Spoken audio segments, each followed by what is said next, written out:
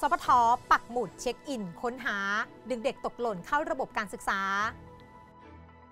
ว่าที่ร้อยตรีธนุวงจินดา รองเลขาธิการคณะกรรมการการศึกษาขั้นพื้นฐานเปิดเผยว่า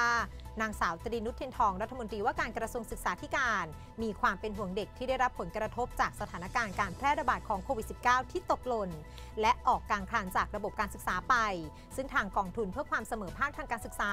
สำรวจข้อมูลนักเรียนที่ได้รับทุนเสมอภาคจากกสศในกลุ่มรอยต่อ ตั้งแต่ระดับอนุบาล 3 ขึ้นประถมศึกษาปีที่ 1 ประถมศึกษาปีที่ 6 ขึ้นมัธยมศึกษาปีที่ 1 และมัธยมศึกษาปีที่ 3 ขึ้นมัธยมศึกษาปีที่ 4 ในภาคเรียนที่ 2 ปีการศึกษา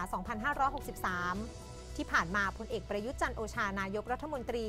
เน้นย้ำว่าจะต้องไม่ทิ้งใครไว้ข้างหลัง ต้องตามเด็กให้กลับเข้าสู่ระบบการศึกษาให้ได้ซึ่งสปทจะดำเนินการแบ่งเป็น 2 กลุ่มคือ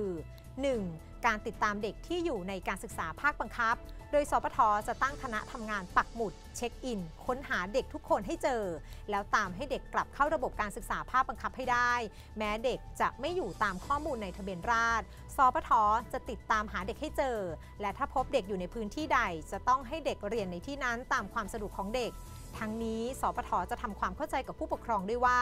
หากผู้ปกครองไม่ให้เด็กเรียนตามการศึกษาภาคบังคับ จะมีความผิดตามกฎหมาย และ 2. เด็กที่มีอายุเกิน 15 ปี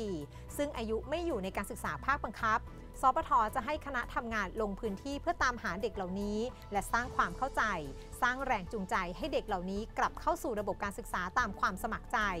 โดยรัฐมนตรีว่าการกระทรวงศึกษาธิการมีโครงการ อาชีวะสร้างโอกาสทางการศึกษาให้เยาวชน เพื่อผลิตกำลังคนของประเทศ หรืออาชีวะอยู่ประจำเรียนฟรีมีอาชีพ จะช่วยเหลือนักเรียนในพื้นที่ห่างไกล ยากจนขาดโอกาสทางการศึกษา และตกหล่นจากระบบการศึกษา ให้ได้รับโอกาสทางการศึกษามากขึ้น